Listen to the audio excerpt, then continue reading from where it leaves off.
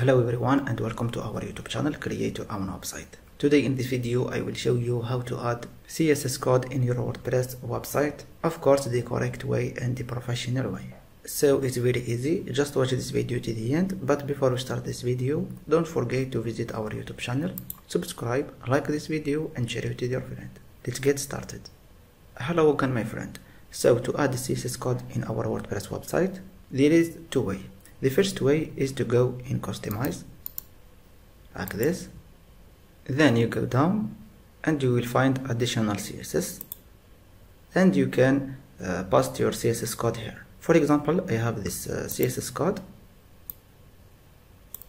Is to protect your your WordPress content from stealing because when we add this code in our website it will not allow the visitor from doing copy paste okay so we can add this code here and we click publish and we're done. We add this code in our website.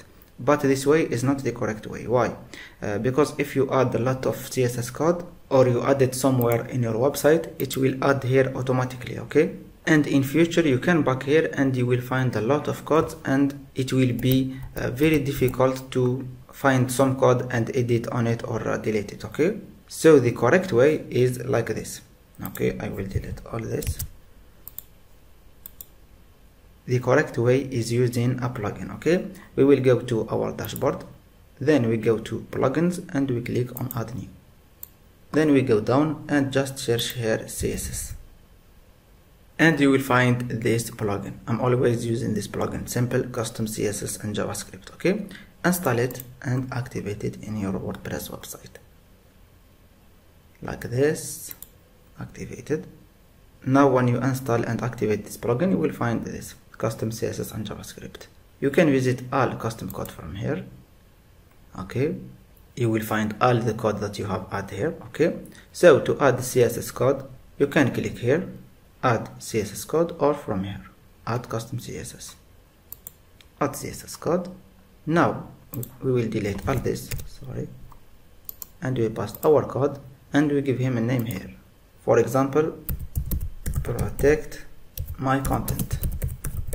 For example okay? Then you can click directly from here publish. And when you publish your code is add and activated in your WordPress website automatically. If we go add custom code here you will find this code okay? Is a CSS code and this is the name that we give to this code okay? You can delete it. You can deactivate it from here and activated okay?